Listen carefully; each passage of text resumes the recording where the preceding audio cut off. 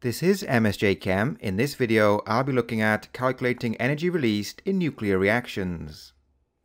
So we'll start by calculating the energy released in a nuclear fusion reaction.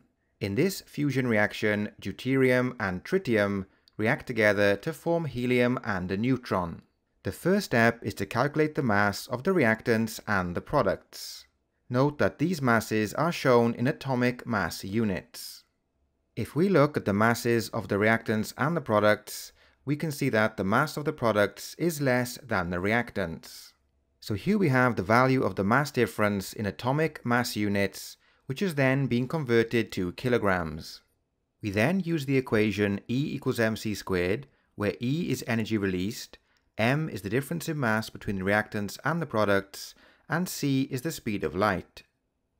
So next we'll go through the calculation. To calculate the energy released, the mass difference between the reactants and the products is multiplied by the speed of light squared. This gives us a value of 2.91 times 10 to the negative 12 joules per nucleus. This is the amount of energy released for the formation of one helium nucleus. To calculate the energy released for one mole of helium nuclei, we multiply the value for one nucleus by the Avogadro constant.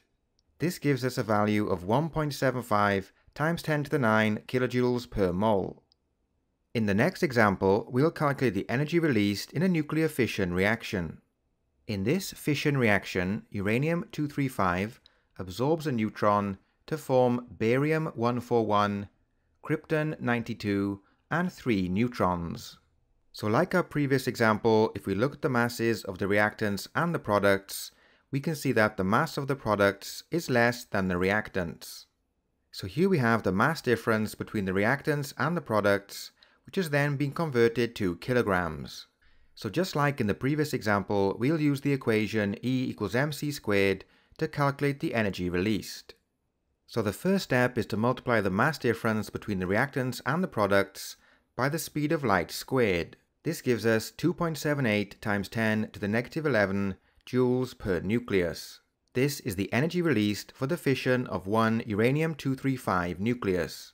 To calculate the value for 1 mole of uranium-235 nuclei, we multiply the value for one nucleus by the Avogadro constant, which gives us 1.67 times 10 to the 10 kilojoules per mole.